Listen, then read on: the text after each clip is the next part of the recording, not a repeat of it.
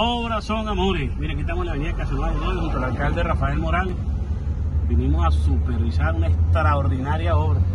Buena noticia para los aragüeños, ¿verdad, alcalde? Así es, gobernador. Estamos recuperando para la gobernación del agua y la alcaldía de Girardot la pared de escalar, histórica, ¿verdad? Tremenda pared de escalar para los deportes extremos y otras actividades.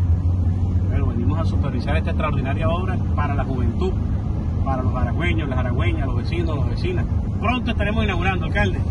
Bueno, pronto estaremos entregando los maracayeros el Centro de Deportes Extremos y la segunda pared de escalada olímpica de Venezuela.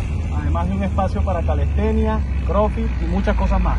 Mira, muéstramelo ahí, muéstramelo ahí, cómo lo estamos recuperando. Mira, qué belleza, qué belleza, qué belleza. Obras son amores.